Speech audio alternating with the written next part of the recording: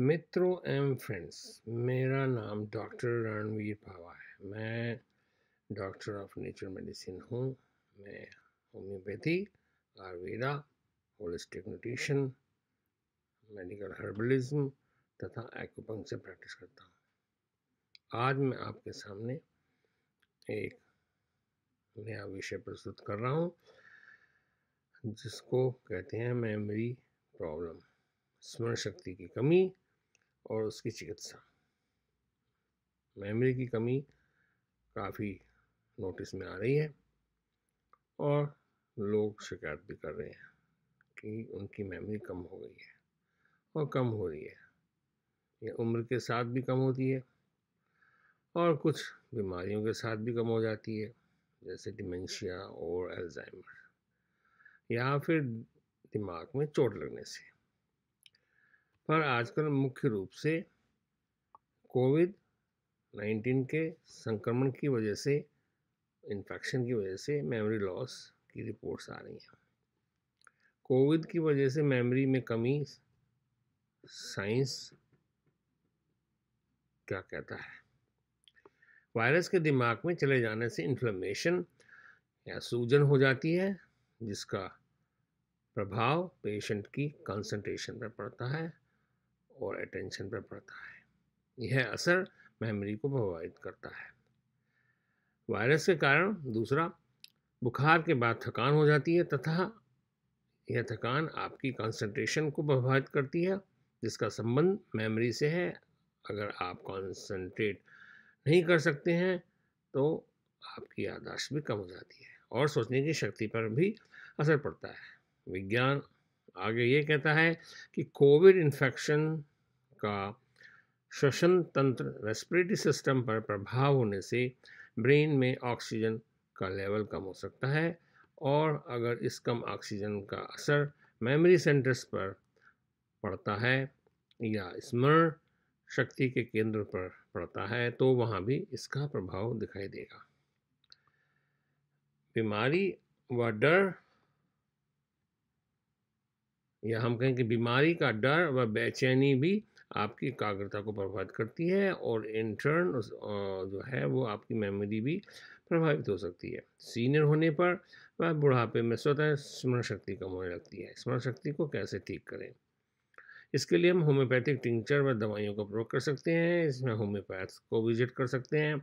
आयुर्वेदिक दवाओं का प्रयोग कर सकते हैं। इसमें भी आप आयुर्वेद को दे सकते हैं। हमें कॉन्टैक्ट कर सकते हैं। कुछ प्राणायाम व योग के आसन भी सहायक हो सकते हैं, पोषक तत्वों से पूर्ण, संतुलित एवं स्वस्थ भोजन भी मेमोरी को बढ़ाने में सहायक होगा। वाइटामस मिनरल्स, खनिज व बायोकेमिकल्स जैविक पदार्थों का भी प्रयोग कर सकते हैं। तो मित्रों, मैं जो हूँ, होम्योपैथिक मेडिसिन से शुरू करता हूँ। इसमें जो है, जो टॉनिक्स हैं, उनका उपयोग किया जाए तो मेमोरी जो है ठीक हो सकती है, मेमोरी में जो कमी आई है वो ठीक हो सकती है। इसमें पहला जो टिंचर है वो अल्फ़ा अल्फ़ा टिंचर है, ये इसमें काफ़ी न्यूट्रिएंट्स होते हैं, ये मस्तिष्क पर भी असर डालता है और शरीर पर भी असर डालता है। अल्फ़ा अल्फ़ा टिंचर की 10 से 20 बूंद, दो से तीन बार दिन में ले सकते हैं, खाने से पहले या खाने के बाद। और दूसरा है एविना सटीवा, इसका भी जो टिंचर है 10 से 20 बूंद दो से तीन बार खाने से पहले या खाने के बाद ले सकते हैं। आगे हम चलते हैं अश्वगंधा। अश्वगंधा का टिंचर है जो उसकी भी दस से बीस बूंद, दो से तीन बार प्रतिदिन खाने से पहले या खाने के बाद दी जा सकती हैं। काली फॉस सिक्स एक्स में पाँच से छः गोली दो से तीन बार दी जा सकती हैं। ये भी मस्तिष्क पर असर डालती है मस्तिष्क को इम्प्रूव करती है। मस्तिष्क की एक्टिविटी को, फिर एक है बायोकेमिक नंबर चौबीस, बायोकेमिक नंबर ट्वेंटी फोर की पाँच गोलियाँ दो से तीन बार ली जा सकती हैं दिन में और ये चूसले में और इस तरह से आप उसको ले सकते हैं। जड़ी बूटियों में हर्ष में अश्वगंधा हर्ब 200 से 50 500 200 से 500 मिलीग्राम, दो तीन बार खाने के बाद और या खाने के साथ पानी से ले सकते हैं। ब्राह्मी हर्ब 200 से 500 मिलीग्राम, दो तीन बार खाने के साथ पानी से ले सकते हैं। गो टू खोला 200 से 500 मिलीग्राम, दो तीन बार खाने के बाद पानी के साथ दे सकते हैं। आगे जो हर्ब है वो गिंको बायलोबा गिंको बायलोबा जो 40 से 60 मिलीग्राम के फॉर्म में, कैप्सूल्स में आती है, वो भी तीन दो से तीन बार प्रतिदिन खाने के बाद पानी से ले सकते हैं। गिंको बालोबा का टिंचर भी आता है होम्योपैथी में। आ, हर जगह नहीं मिलता। साइबेरियन जिनसिंग आती है सौ से दो सौ मिलीग्राम के कैप्सूल्स को दो से तीन बार दिन में लिया जा सकता है खाने के साथ। योग और आसन में अब हम बात करते हैं इसमें प्राणायाम अनुलोम उलोम भ्रमरी आदि जो है प्राणायाम जो ऑक्सीजनेट करते हैं, नाड़ियों को, वे काफ़ी अच्छे हो सकते हैं मेमोरी को इम्प्रूव करने में। आसनों में शीर्षासन, सर्वांगासन, सूर्य नमस्कार, पश्चिमोत्तासन किया जा सकता है। आसनों में वो आसन किए जाएँ जिस, जिसमें कि हमारे ब्लड का सर्कुलेशन जो है, दिमाग, मस्तिष्क और हेड की तरफ़ जाए। अब हम चलते हैं पोषण। पोषण मीन्स न्यूट्रिशन न्यूट्रिशन में पोषक तत्वों से पूर्ण, संतुलित व स्वस्थ भोजन भी मेमोरी को बढ़ाने में सहायक होगा। गहरे रंग वाली डार्क कलर सब्ज़ियाँ व फल खाएँ, सब्जियों को पकाकर खाएँ और आप, जो है, फलों का जूस भी ले सकते हैं।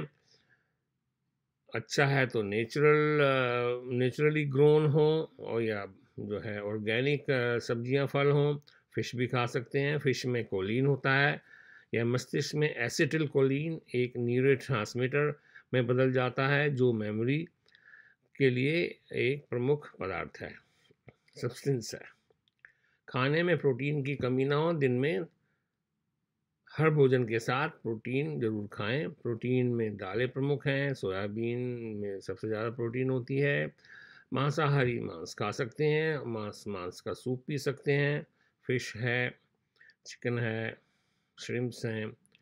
दालों को अंकुरित करके खाएँ, पकाकर खाएँ। बादाम तेल, बादाम रोगन जिसे कहते हैं, उसको पी सकते हैं और उसको सिर पर भी लगा सकते हैं, लेकिन बादाम के तेल की मालिश की जा सकती है। उसका भी मेमोरी पर प्रभाव पड़ सकता है। सब्जियों और दालों में आप घी का उपयोग कर सकते हैं। घी भी मेमोरी बढ़ाता है। आ, अंडों का उपयोग किया जा सकता है। अंडों के येलो पार्ट में भी जो है कोलिन होता है। आ, तो वो भी मेमोरी के लिए अच्छा है। तो बहुत ज़्यादा अंडे नहीं खाइए। एक दो अंडे खाइए दो हफ़्ते में चार पाँच खा सकते हैं।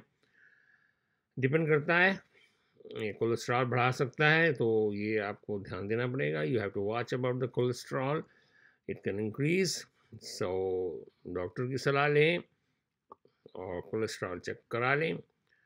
आ, हम देखते हैं कि पानी का भी जो है उपयोग हमें अच्छी तरह से करना चाहिए। पानी को हम दिन में जो है पाँच छः सात, आठ ग्लास पी सकते हैं। हर दो दो घंटे में पानी पीजिए, शुद्ध पानी पीजिए, हल्का गुनगुना होना चाहिए, गुनगुना होना चाहिए या ल्यूक वार्म जिसे कहते हैं, क्योंकि पानी से शरीर के विष बाहर निकल जाएँगे और वो एकत्रित नहीं होंगे, जो नुकसान देंगे या हानि पहुँचाएँगे शरीर को। न्यूट्रिशनल सप्लीमेंट्स ले सकते हैं। न्यूट्रिशन सप्लीमेंट्स में मल्टी वाइटामिन हैं जो मिनरल्स के साथ, खनिज के साथ होने चाहिए। ए, बी, सी, डी, ई और कैल्शियम, और मैग्नीशियम, जिंक, फास्फोरस, सेलिनियम। इस तरह से जो हैं वो आठ, नौ, दस करीब जो मिनरल्स होते हैं, वो आप, होने चाहिए। एंटीऑक्सीडेंट्स जो डिजनरेटिव डिज़ीज़ को रोकते हैं, इनमें जो है जो बायोकेमिकल्स होते हैं और वाइटामस भी होते हैं और मिनरल्स भी होते हैं। वाइटामस में ए सी होता है और मिनरल्स में जिंक और सेलेनियम एंटीऑक्सीडेंट्स का काम करते हैं। बायोकेमिकल्स में जो है जैसे कि ये आपको फलों से प्राप्त होंगे जैसे आंवला से प्राप्त होंगे। इस तरह के जो फल हैं, उनमें काफ़ी एंटीऑक्सीडेंट्स होते हैं। ये डिजनरेशन को रोकते हैं। और कोलिन, जिसकी जिसके बारे में ऊपर बताया जा चुका है। कोलिन के कैप्सूल्स मिलते हैं और ये 200 से साढ़े तीन सौ मिलीग्राम के होते हैं। इनको एक कैप्सूल आप रोज़ ले सकते हैं। ये भी मेमोरी में इजाफा करेगा। मेमोरी की कमी को रोकेगा और स्मरण शक्ति को ठीक रखेगा। यहाँ तक मुझे ये बताना था इस बारे में। और मेरा नाम डॉक्टर रणवीर पावा है। मेरा phone number three O six six six four three eight seven three है और मेरी ईमेल जो है नीचे बताई गई है, लिखी गई है। आप मुझे कांटेक्ट कर सकते हैं। और ये जो इन्फॉर्मेशन दी जा रही है वह एजुकेशनल पर्पस के लिए है। यह ट्रीटमेंट और डायग्नोसिस के लिए नहीं है। इसके लिए अगर आपको डायग्नोसिस कराना है, ट्रीटमेंट कराना है तो आप एक एक्सपीरियंसड हेल्थ केयर प्रैक्टिशनर को देखें डॉक्टर को देखें होम्योपैथ को देखें, आयुर्वेदिक डॉक्टर को देखें, आप मुझे भी कॉल कर सकते हैं। हम ऑनलाइन जो है कंसल्टिंग करते हैं। आपके सवालों के जवाब भी देंगे। अब यहाँ हम ख़त्म करते हैं इसको। बहुत बहुत धन्यवाद। थैंक यू नमस्ते।